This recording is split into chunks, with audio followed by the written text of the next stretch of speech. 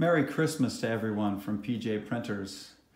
Wanted to give a little demonstration of our Christmas card this year. Got it pre-staged here. Here's the package that we're delivering. It's He is the light of the world. Merry Christmas.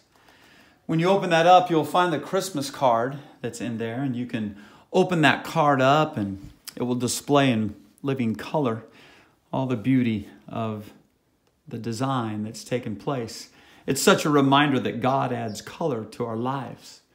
If you uh, will notice also that we have supplied inside, which should be right there when you open it up, a little packet that has a cotton uh, pad in it.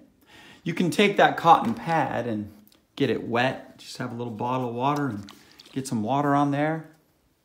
And then you can take and the card and with the wet towel, you can wipe on the white area there.